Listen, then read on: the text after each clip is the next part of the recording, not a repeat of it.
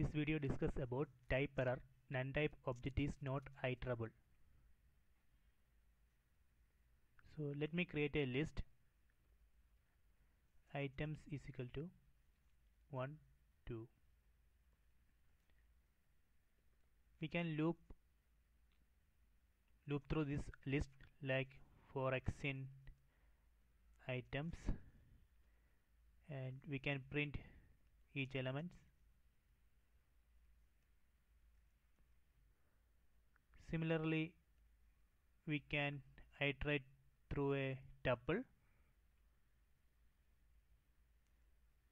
and print the element. And similarly we can iterate through, a string and we can print each character. So all these are possible because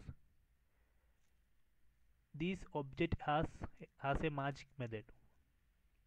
So this list has a magic method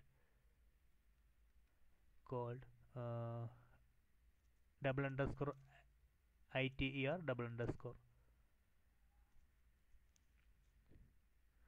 So this method makes this iteration. Similarly in tuple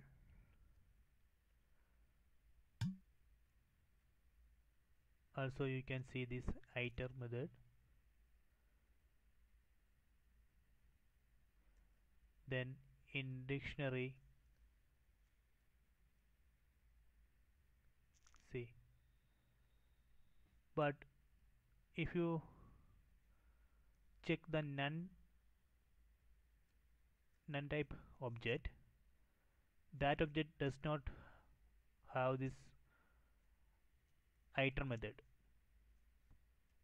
So if you try to iterate through a none type object like this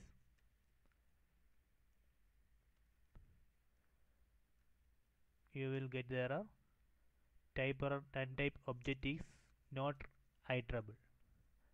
Similarly if you try to iterate to an int object you will get int object is not iterable and float object float object is not iterable then boolean.